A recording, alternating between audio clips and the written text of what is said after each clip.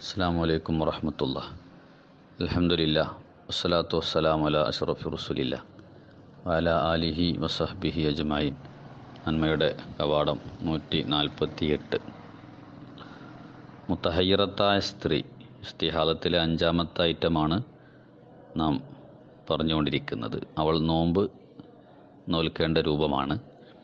റമലാനിൽ നോമ്പ് നോൽക്കൽ നിർബന്ധമാണ്. പക്ഷേ റമലാൻ ഒരു മാസം ഫുള്ള് നോമ്പ് നോറ്റാൽ അവൾക്ക് നോമ്പ് ലഭിക്കുന്നത് സ്വഹിഹായി ലഭിക്കുന്നത് പതിനാല് നോമ്പ് മാത്രമാണ്. കാരണം എത്ര ദിവസം ഹൈലുണ്ടാകുന്നത് എന്നറിയുന്നില്ലല്ലോ. അപ്പോൾ കൂടുതൽ കണക്കെടുക്കണം. ഹൈലിന്റെ ഏറ്റവും കൂടിയ കണക്ക് പതിനഞ്ച് ദിവസമാണ്.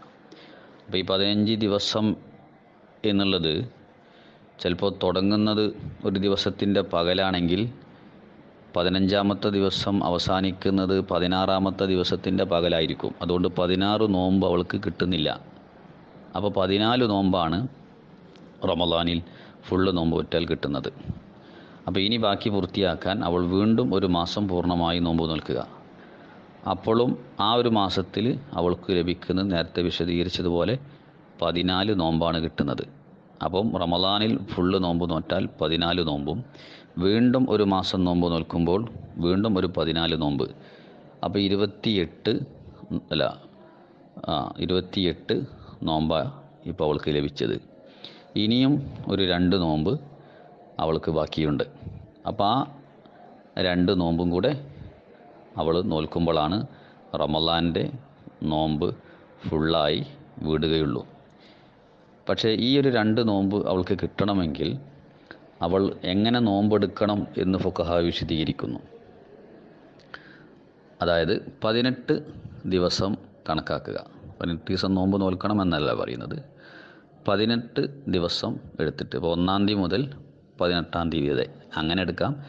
അല്ലെങ്കിൽ അഞ്ചാം തീയതി മുതൽ ഇരുപത്തി മൂന്നാം തീയതി അങ്ങനെ ഒരു പതിനെട്ട് ദിവസം നമ്മൾ ഡേറ്റ് പിടിക്കുക കണക്ക്. അടുത്ത മാസത്തിൽ. രണ്ട് മാസവും കഴിഞ്ഞല്ലോ.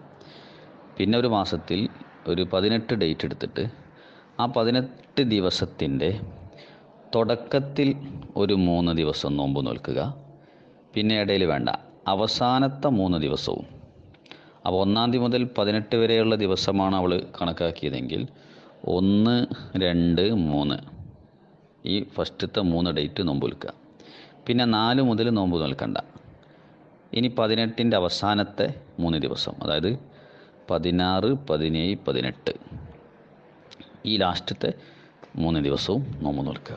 ഇങ്ങനെ നോമ്പ് നോറ്റ് കഴിഞ്ഞാൽ അവൾക്ക് ഒരു മാസത്തെ നോമ്പ് അതോടുകൂടെയാണ് പൂർത്തിയായി കിട്ടുന്നത് മുപ്പത് നോമ്പ്.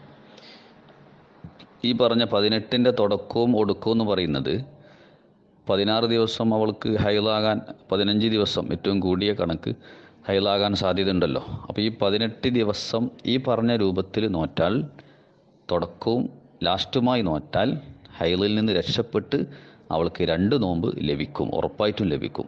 അതുകൊണ്ടാണ് ഇങ്ങനെ നോൽക്കണമെന്ന് പണ്ഡിതന്മാർ പഠിപ്പിക്കുന്നത്.